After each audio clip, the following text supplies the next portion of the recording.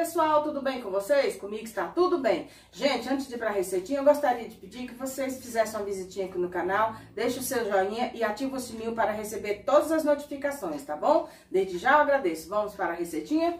Hoje eu vou fazer, gente, torresmo crocante. Aqui eu vou utilizar aproximadamente 2 kg, 2 kg da barriga do porco, tá? Ó, eu vou temperar com pimenta do reino e sal. Ó como tá, esse aqui tá bonito, olha. Olha só, tá? Agora eu vou cortar. Vou cortar mais ou menos assim, ó. Tá vendo? Aí eu vou cortar todos desse tamanho e já volto pra temperar.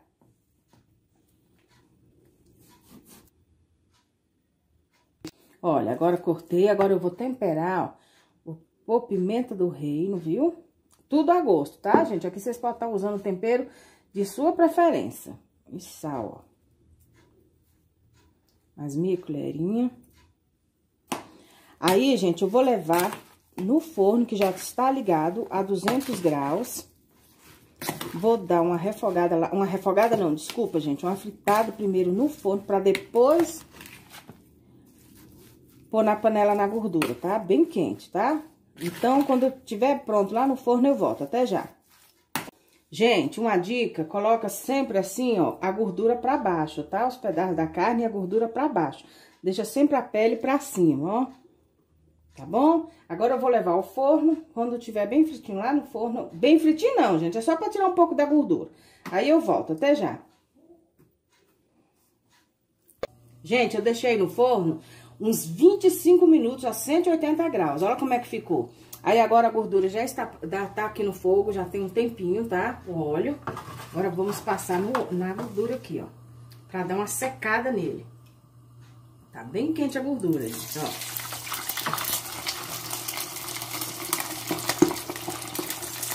Agora eu vou fritar todos eles e daqui a pouco eu volto. Até já. Olha, gente, como ficou a nossa pururuca, gente, ficou... Olha a crocância, gente, que tá. Ó. Olha só. Tá escutando? E hoje, gente, quem vai estar tá provando vai ser a minha mãe, que tá bem ali, acabando de passar ali, ó. Olha. Vem cá, dona. Vem cá, mãe, pegar. Prova. Gente, olha que delícia, gente. Bom dia para todos. É uma delícia. Olha a crocância. Hum. Fez para todos. Obrigadão.